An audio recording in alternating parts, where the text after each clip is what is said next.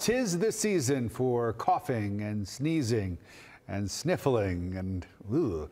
it is not just because of the weather and the cold temperatures. It might not be a basic cold.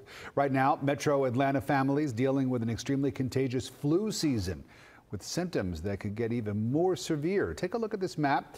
This is what public health officials are worried about, and it's worse here than just about any place else in the country.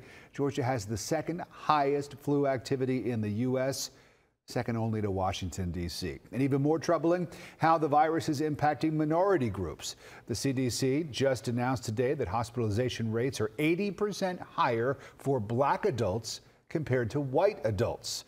Atlanta News First reporter Don Shipman live at the CDC headquarters in DeKalb County, where Don, they're telling people to get a flu shot now.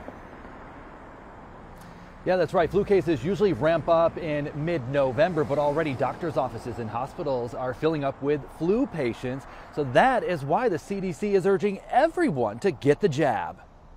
It got cold really fast. Patricia Ryder and her husband Richard got their flu shot a little more than a week ago. Richard, in his 70s, worries about getting so sick that he ends up in the hospital. If I do get sick, don't want to get as sick or life threatening. Patricia works with the general public, so she wants to be extra careful. We don't want to get the flu, and of course, I don't want to give the flu to someone else. Right now, the CDC puts Georgia in the red category for flu cases. The newest numbers from DPH show more than 300 flu cases reported in the state during week 39, which just ended at the beginning of October. Flu is absolutely horrible. CVS nurse practitioner Evelyn Larson is seeing a flood of families coming in for a flu test, with the results coming back positive. She recommends getting the shot now so you're fully protected by Halloween Halloween and Thanksgiving, even if you think you're super healthy. A lot of times you might have a good immune system and then you didn't get a good night's sleep for a few days or you were stressed out and then that minor illness can really, really hit you.